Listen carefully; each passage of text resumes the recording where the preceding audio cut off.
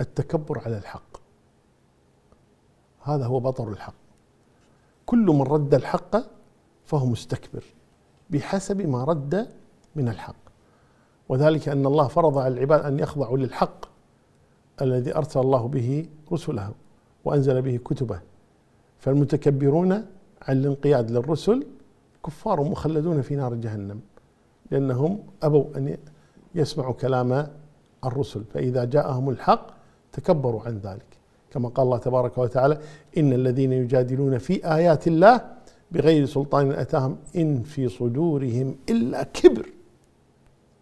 ما هم ببالغيه فالكبر الذي يمنع الإنسان من الانقياد من الانقياد للحق. المتكبرون اذا عن الانقياد الحق آه، أو لبعضه لأنه خالف أهواءهم أو خالف آراءهم فهذا من موجبات العقوبة.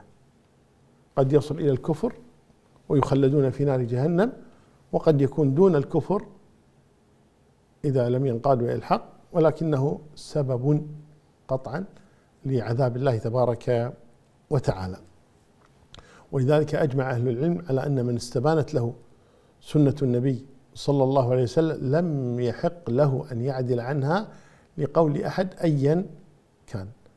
وطالب العلم يقدم قول النبي صلى الله عليه على قول كل أحد ولو كان أحب الناس إليه لا يتكبر على قول النبي بل يقدمه على قول كل أحد صلوات ربه وسلامه عليه.